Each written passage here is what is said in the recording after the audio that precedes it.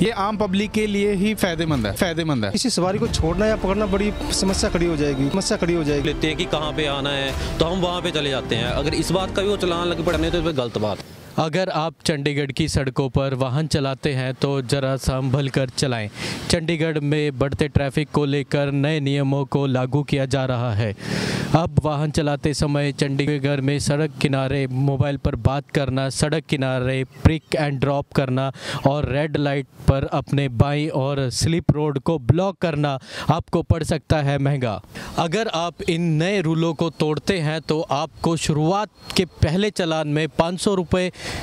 और जब आप यही नियम दोबारा तोड़ेंगे तो ये जुर्माना दुगना हो सकता है।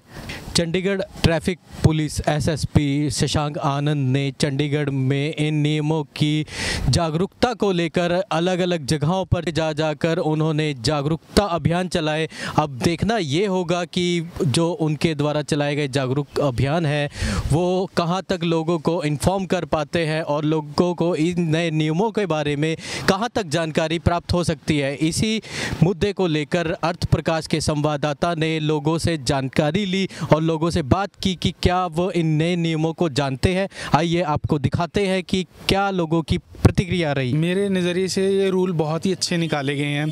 पिक एंड ड्रॉप जो है, पीछे ट्रैफ़िक हो जाता है और जो ड्राइवर है, वो सिर्फ़ अपनी कस्टमर के साथ ही बात करता है और पीछे ट्रैफ़िक हो जाता है बहुत ज़्यादा, जिसमें आम पब्लिक को बहुत ज़्यादा निकलने में बहुत मुश्किल होती है।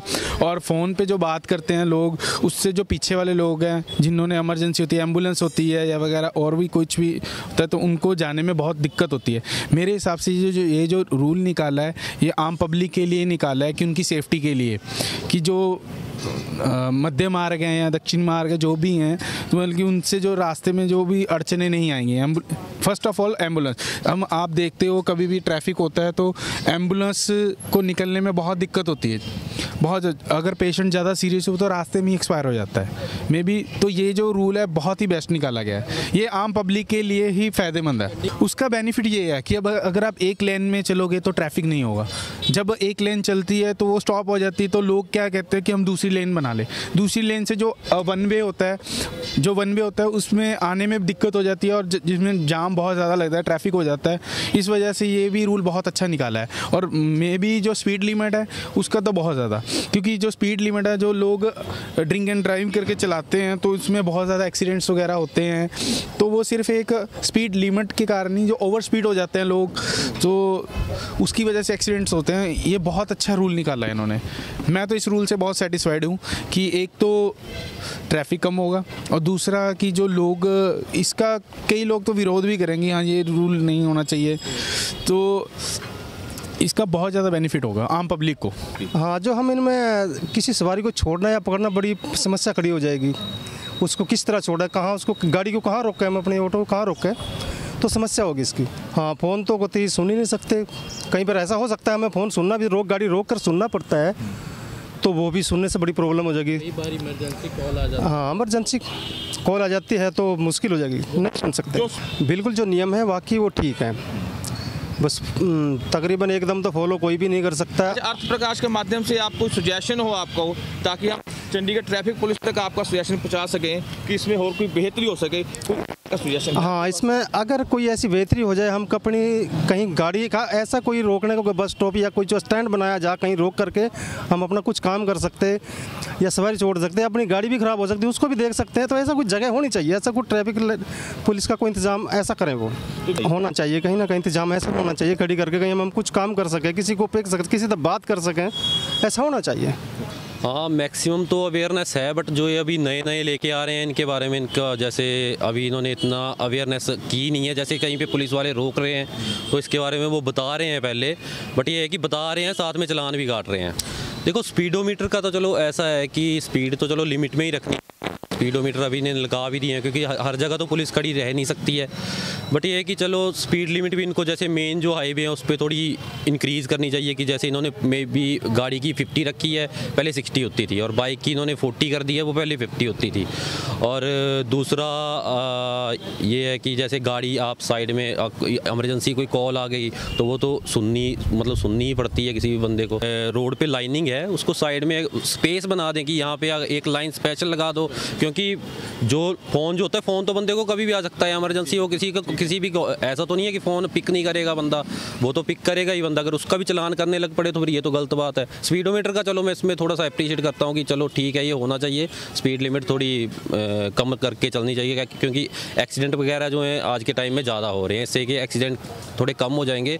बाकी ये फ़ोन का और एक पिक एंड ड्रॉप का, वो इन्होंने स्पेशली जैसे मेंशन कर दिया कि जैसे बस स्टैंड पे या कहीं पे जो स्पेशल जो उन्होंने बताया एरिया कि वहीं पे पिक एंड ड्रॉप कर सकते हो।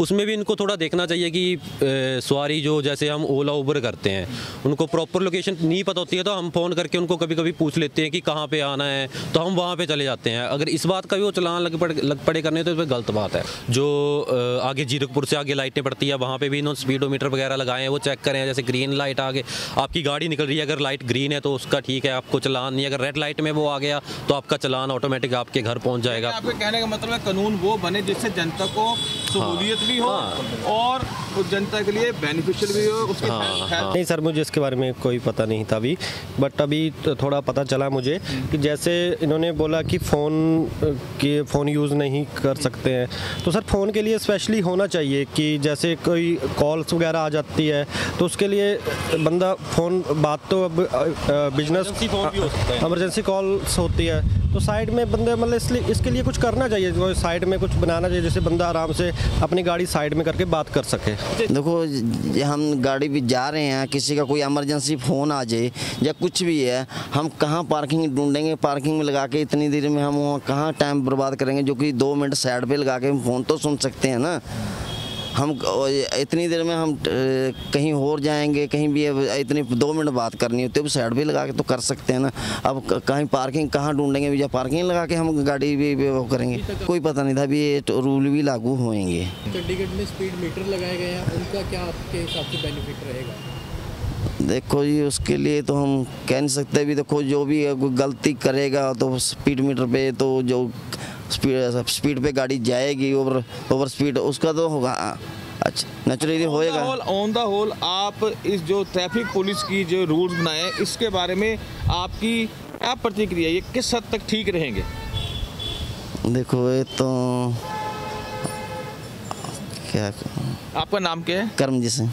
करमजीत सिंह जी ने अपने विचार दिए हैं। बहुत बहुत धन्यवाद हाँ, आपने अर्थ प्रकाश के प्लेटफॉर्म से अपने दिल की बात रखी है हाँ पुलिस के बारे में।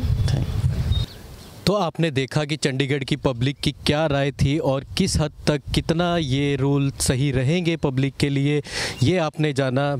मैं राहुल तिवारी अर्थ प्रकाश न्यूज़, चंडीगढ़। ताज़ा अपडेट्स के लिए अर्थ प्रकाश टीवी को सब्सक्राइब करें और बेल आइकन को प्रेस करें।